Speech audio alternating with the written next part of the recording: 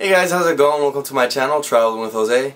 I'm Jose and for today's video I want to talk about different ways to prepare for boot camp. Now these are in no order of importance, these are just ideas that I brainstormed and I thought these would be ideas that would help you on your Navy path. These are things I wish I would have known right before going into boot camp to make my life easier, so here they are, I want to make your life easier. Let's begin. So first things first, of course, you're going to have to be fit when you go to boot camp. Now, you don't have to be too fit. I would say if you're depping in and you have maybe three to five months until you go to boot camp, 30 minutes a day, that's all you need, really. All you have to work on is running, push-ups, and sit-ups. Now for running, I would say guys, uh, running a mile and a half would be mm, around 9 to 11 minutes. For girls, it would be like around 11 to 14 minutes. I don't know all the requirements because it all depends on age and uh, weight, height, and you know, your BCA. So I would recommend to look that up. This one is very important. Know how to swim because if you don't know how to swim, you're gonna have to keep going back to the pool, and that takes time out of other things you could be training on. I had friends that couldn't pass their swim tests, and they would have to go swim every single day. Also, if you don't pass the swim test by the end of boot camp, you will be held back. So keep that in mind. Another part of the swim test is the prone float. The prone float is where you float with coveralls on for about three to five minutes. Sorry, I don't remember, but three to five minutes, and you just float there. If you pass the swim, but you don't pass the float, you'll also be held back, and you'll also have to keep going back to the pool. So know how to swim, know how to float. Along with working out, we also have this thing in boot camp called IT, and I believe it stands for intense training. They will work you out like if you were at a gym, like if you had a personal trainer, and trust me, it is not fun. At the end, you end up feeling a little bit great, but in that moment, you don't because you're wearing your whole uniform and you're working out in boots. So if you want to be ready for that IT, workout. So now let's talk about diet. Now in boot camp, you're going to take courses on nutrition. Not because not everybody knows how to eat well what not to eat, what to take out of their diet. In boot camp, there's two things that I believe happen. You can either leave boot camp really fit, really lean, really healthy, or you can actually leave in a worse condition than you were. And that's because of the choices that you make with what you eat. Now in boot camp, there's a lot of food, there's a lot of good food actually, and with all the stressors involved, a lot of people tend to go towards sugar and they do have these sugary cereals. But it's up to you to control what you intake. I know there was a point at the beginning of boot camp where I was all about eating right, uh, not having sugar in my diet, but towards the middle and the end, I kind of fell through and I had a lot of cereal, a lot of Cinnamon Toast Crunch, and it's not good. Don't do it to yourself. Maintain a good diet throughout boot camp. Before leaving for boot camp, hang out with your friends, hang out with your family as much as you can because it'll be a while before you see them. Boot camp alone is uh, two to two and a half months, and it, for some of you that haven't left home and haven't left your friends, that can be a long time for you. And after that, schooling, it was five to six months before I saw my family again. Now that I'm in Japan, it had been a year and a couple months before I saw my mom and my sister. So hang out with them, enjoy your time with them before you leave. Also, if you didn't already know, there's a lot of bootcamp videos out there. Watch them. Watch them all. Everybody can give you a little bit of information that you need to know. Of course, a lot of things change with bootcamp and the bootcamp video. I know it's a couple of years old, so some things have been taken out. Uh, for example, I know girls don't have to cut their hair anymore. Guys, you do still have to cut your hair. Oh, which brings me to another point. Guys, you don't have to shave your head before going to boot camp. I know you might be ready and whatnot, but even if you have barely any hair, they're still gonna scalp you. So, might as well just have a little bit up there for them to scalp. Before you leave for boot camp, I would suggest to have a box ready to be sent to you wherever you go. Because after boot camp, you don't go straight home, you go to school.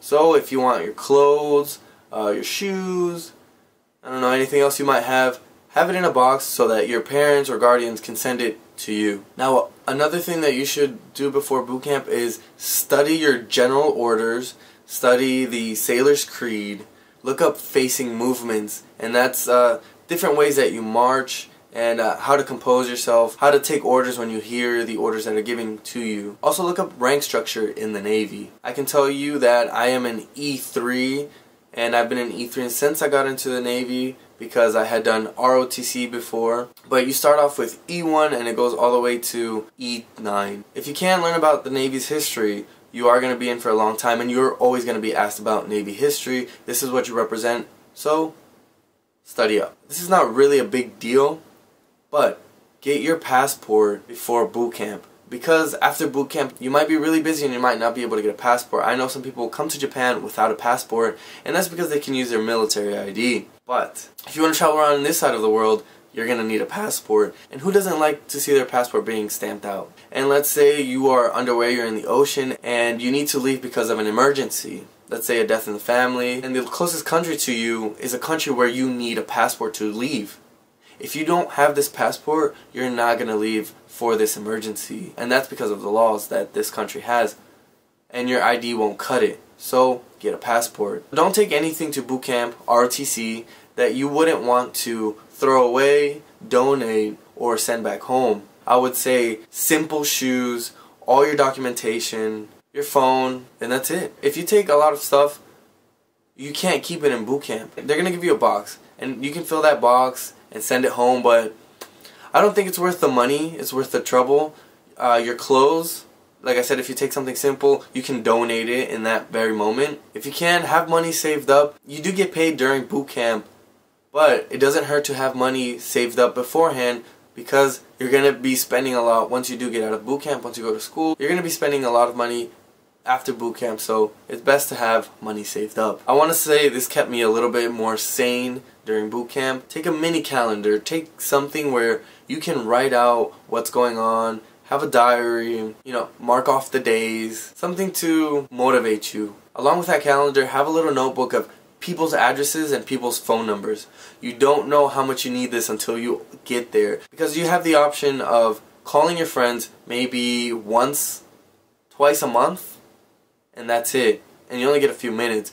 So if you don't know their number and you can't contact anybody, well, you should have planned ahead. I know I had my mom's and my sister's phone numbers saved in my head, but there was other friends that I wanted to really talk to. I didn't know their phone numbers, so I had to just wait. Tuesdays or Wednesdays, I think you can receive letters, and then Sunday you can actually reply and mail them out. So it's important to have people's addresses and have a lot of addresses in your notebook because not everybody writes back immediately. So uh, another thing that will motivate you throughout boot camp is having those letters with you. Which brings me to another point.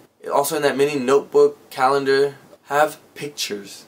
Have pictures of your family, of your friends, of the moments right before boot camp, something to motivate you during boot camp. I know I said to have all your original paperwork, including your social security card, but memorize your social security number. They're not going to have time for you to go through all your paperwork and look for your social security number. Have it right up here. And I want to say 99% of you have a phone. I would say put that phone on hold. I know I had, uh, I have actually, T-Mobile, and I put my phone on hold, and I only paid for that hold fee. So when I went to California uh, a few months ago, I called T-Mobile and they immediately unlocked my phone and I was able to make calls and you know surf the web. I had to pay like eighty dollars for that whole like two weeks that I was there. You don't have to cancel your phone bill completely. If you tell the phone companies that you want to put your phone on hold because it's military related, they'll let you do that. Make this a habit before you go to boot camp. Drink a lot of water. You're gonna have to drink a lot of water during boot camp because of all the exercising that you're gonna do. And this is also a method that they teach you so that when you get out to the ship where it's hot a lot of the times, you're going to make it a habit to drink a lot of water. A lot of your time is going to be spent on your uniform. One of these items is your boots. And in the military, well, here in the Navy, they like your, the front of your boots to be shined. And you can actually get it shined enough where you can see yourself. There was a lot of people that acquired that skill in boot camp. I, unfortunately, was not one of them. I am so impatient when it comes to shining boots. But it makes it does make you look better and it's a little way of showing off in boot camp. So learn different ways to shine boots. Uh, you might see on YouTube that there's ways you can shine your boots with lighters, but you can't have lighters in boot camp, so learn different ways. Spit method. Look it up. You're gonna have to clean a lot. You're gonna be cleaning every single day now for the rest of your life in the Navy. And this, like I said about the water, where it's training you for the boat, you're gonna be cleaning the boat every single day. You have a certain space to maintain, so you have to be prepared to clean every single day. And once you get out there to the fleet, you'll know what I'm talking about. Be prepared for no personal space. You don't have your personal bed. You have bunk beds. 50 plus bunk beds in one room. You share the shower. You share the toilets. The toilets don't have doors. Just so you know, I know I wasn't prepared for that, but they have curtains, but sometimes they're ripped or uh, they're not even there. So no curtains to cover up. So be ready for that. Also, all the guys are going to have to shower together and all the girls are going to have to shower together. So that's something that you have to prepare for. And when you're showering, be prepared to only have five minutes. I would suggest making it a habit to get ready faster. Brush your teeth faster, shave faster, shower faster, eat faster before you go to boot camp because that's going to be your lifestyle for two months. And last but not least, start making a habit to wake up early. In boot camp, you're going to wake up early and go to sleep somewhat late, you're going to feel like. During boot camp, you're going to be waking up at 5 in the morning and going to sleep at 10 at night. Your days are going to be long. So those were all my brainstormed how to prepare for bootcamp ideas. If you like them, go ahead and give this video a thumbs up. If you have any more questions, if I didn't explain something enough, go ahead and leave a question. Don't forget to subscribe if you want to keep on watching my videos. Like I said, every two weeks I put out videos. And if you don't follow me already on Instagram or Facebook, uh, I'm going to put the link up. On Instagram, I share everything that I do in Japan, all the festivals that I go to, all the friends that I make, uh, all the foods that I try. And on Facebook, if you go ahead and find it, I think when I'm underway, it's a better way for me to message you back if you have anything that you want to find out. And as always, thank you for watching. ありがとうございます。じゃあ、またね。Until the next video. Bye.